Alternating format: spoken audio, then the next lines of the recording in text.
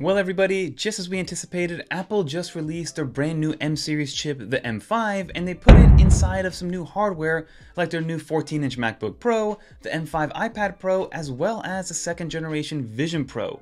This new M5 chip is going to be faster, smarter, more efficient, and it's built all around AI and those AI workflows and workloads to be able to handle everything that you throw at it. So, without further ado, let's talk about the M5, what it means, and how it's a drastic change from M4 in these new hardware products. Let's get into it. But now, before we continue, if you do enjoy videos like this one, or if you want to see us get some hands-on time with some of these products in the future, definitely consider subscribing to the channel. But let's first talk about the M5 chip in totality and see exactly if it's going to be worth your hard-earned money and your time. So in our most recent video, I mentioned that I did believe that the transition from M4 to M5 was going to be a much more substantial one than we've seen in the past, similar to how Apple went from the A18 Pro to the A19 Pro, and we got some great GPU and performance upgrades, about a 50% upgrade year over year, which is something that we don't really see anymore when it comes to upgrading your devices year over year. The same thing is true now with the M4. Normally we get about a 10 to 20% CPU and GPU boost going from the M2 to the M3 and the M3 to the M4, but now this M5 is bringing out a ton more power from an efficiency standpoint and just from a sheer and raw power standpoint as well. So this is going to be built on the third generation of the 3 nanometer process, making it sure that it's the most efficient and the most powerful possible, where it gives you the best of both worlds from a power and efficiency standpoint. You also have the next gen GPU, which is going to be a 10 core GPU, each with its own neural accelerator, and this is going to be an all AI first design. Now, this isn't really going to be AI first in terms of like the Apple Intelligence chatbot, it's going to be all things in totality around it, making your day to day that much easier when you are doing your minimal and simple tasks. So ideally, all this is just going to make everything much quicker, much faster, and more efficient, getting you from point A to point B on whatever task you're doing, whether it's as simple as sending a message with autocorrect or something much larger than that, like huge business workloads. And when I'm talking about that year over year comparison to the M4, we're talking about a 4x peak GPU compute difference compared to the M4, so four times faster and better than M4, and also six times better from an AI compute standpoint compared to the M1, if you want to compare it all the way back there from 2020. We also have the world's fastest performance core according to Apple with their brand new 10 core total CPU core. We also have a 16 core neural engine, which is faster with Apple Intelligence and with LLM now that we can have that built on device. And then also the memory bandwidth. It is much faster than it was before at 153 gigs per second when it comes to everything speaking to each other internally, which compared to the M4 is about 30% faster, and it gives you 32 gigs of unified memory on that M5 chip. And then when it comes to the new terminology that Apple's working with, you know, Apple likes to throw those marketing terms at us. They're going from this performance per watt to show efficiency to AI per watt, which is going to be Apple's pivot to an on device AI learning model. So, again, everything should be starting to happen a lot more fluidly on these devices as more and more of the Apple intelligence and the AI of all things starts to kind of creep into our lives. And again, they're not trying to be just another chatbot, they're just trying to make your life easier through Apple intelligence. But that's kind of like the rundown of the M5 chip. Now let's talk about the products that these M5 chips are debuting on, starting with my beloved iPad Pro. Now I did mention in the very beginning that Apple released three new products, the iPad Pro, the MacBook Pro, and the Vision Pro 2nd Gen. Leave a comment down below of your guess as to which one of these products I personally ordered because I only picked up one of them.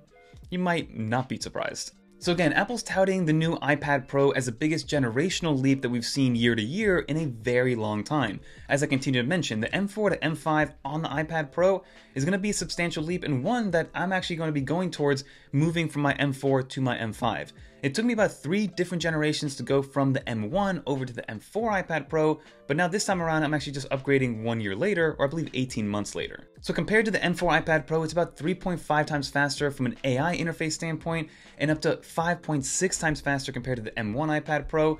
They did include the brand new N1 chip into the iPad Pro, and this is going to be the first time I go with the cellular version of the iPad Pro, giving you Wi-Fi 7, Bluetooth 6, and Thread capabilities. And speaking of the new data connectivity, Apple's including their new C1X chip, which they debuted on the iPhone 17 lineup for 50% faster cellular and much better battery efficiency.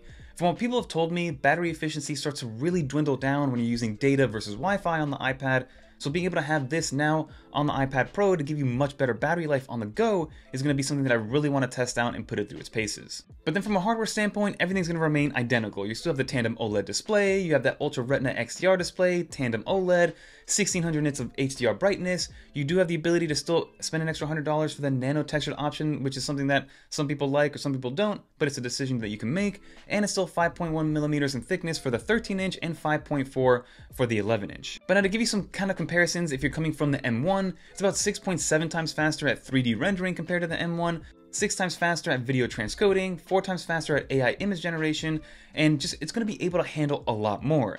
And one thing that I did notice that for the first time ever for iPads, when you go through the ordering process, it now tells you not only how many cores you're getting from a CPU and GPU standpoint, but also what kind of RAM you're getting on each one. So if you go to order them, the entry level one is going to have 9 core CPU, 10 core GPU, and it's also going to give you 12 gigs of RAM baseline compared to 8 gigs of RAM on the M4, and it'll let you know on every single option. Now, unfortunately, you still have to go all the way to the 1TB version to get the 16 gigs of RAM and that 10 core CPU. But again, at least you now know, and it's stated there from Apple for the first time, what you're getting out of your iPad with what you're spending. So I'm super excited for my hands-on on this iPad. Definitely get subscribed because we're going to be putting this through the through its paces and kind of understanding what the differences are between the M4 and the M5 because visually they're going to look identical. But let's see if we can actually get some much better workflows moving forward and much better efficiency, especially now that we're getting 16 gigs of RAM, the 10 core CPU, 10 core GPU, the new neural engine, and just everything's going to be much better overall. Now let's talk about the new M5 14-inch MacBook Pro because this one's going to be just as exciting as iPad Pro. I know some people in my earlier video said that I didn't show enough excitement for the MacBook Pro because it's just something that I don't personally use. But again, it's getting that same M5 chip, but it's only going to be an M5 version. There's no M5 Pro, M5 Max, or M5 Ultra quite yet. So the lineup is going to look as follows. It's going to be the 14-inch M5 MacBook Pro and then you'll also be able to get the M4 Pro and the M4 Max in that same MacBook Pro lineup on the 14 and 16 inch ones. But currently, only the M5 chip is going to be in the 14 inch MacBook Pro. But again, you're getting the same things that I mentioned with the iPad Pro 3.5 times faster AI workflows, 1.6 times faster graphics, a 20% faster CPU, you get 24 hours of battery life, you get 2x faster SSD performance for local LLMs and all your media work, so things are just going to be snappier and work quicker. And what's nice about this is that this is also going to translate into better workflows when it comes to gaming as well. So you get 3.2x higher frame rates, and they were testing this with Cyberpunk. You get 6.8 times faster 3D rendering with things like Blender, and 7.7 times faster AI video enhancements with something like Topaz. So again, just overall better enhancements, better efficiency, and easier to use when you are working with some of these kind of larger workflows.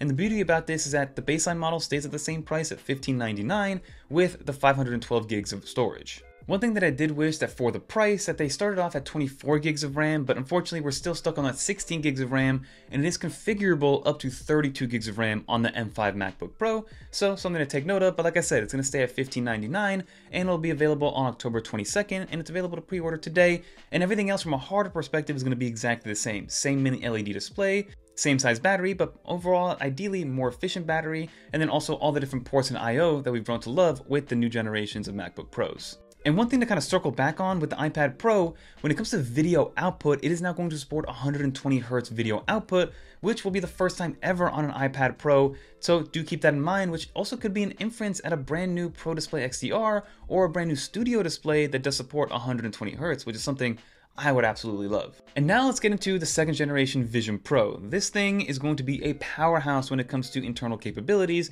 and it should be for the price because it's going to remain at $3,500 as a starting price. But we're getting a brand new M5 chip built directly into this new Vision Pro, and it's going to be the M5 plus the R1 combo, giving you faster performance, up to 120 Hz refresh rates, and 10% more pixels rendered when you are using it in real time.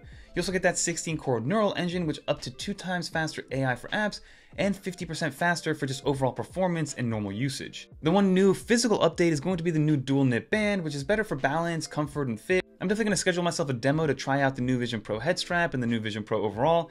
I don't think I'm going to be picking one up this year, but if we get enough comments and enough kind of engagement, maybe we will pick one up and see if it's going to be worth it this time around at $3,500.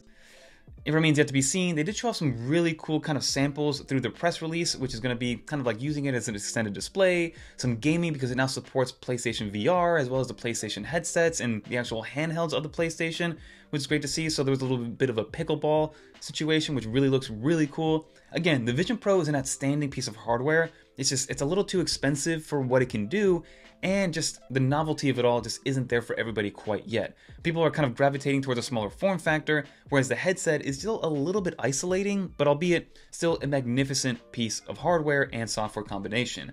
But again, there is more and more immersive content coming out, like different kind of viewing modes. There's nothing really that you can compare with on the Vision Pro to viewing content at the end of the day. Apple's creating a bunch of immersive shows and immersive kind of experiences on there. So little by little, more is coming out for it. But as of right now, if you're starting, if you're trying to use it as a work tool, there's not that much you can do about it, but they did show some other nice use cases of maybe using it in a medical environment, using it in an aviation environment, or in a manufacturing environment where it kind of reads everything around you and kind of teaches you or lets you know what you need to do in those situations, which again is definitely the future. It's just a matter of how can Apple get this in more people's hands at a cheaper price point. So when it comes to the bigger picture of the M5, going from M4 to M5, maybe it's not for everybody. Again, I'm not saying go out there and spend a ton of money on a brand new iPad Pro if you already have the M4 version. Same thing goes with the MacBook Pro and even the Vision Pro. Remains yet to be seen how much more of a leap it's going to be from the M2 to the M5. But the idea here is that every device is now going to be an AI first computer.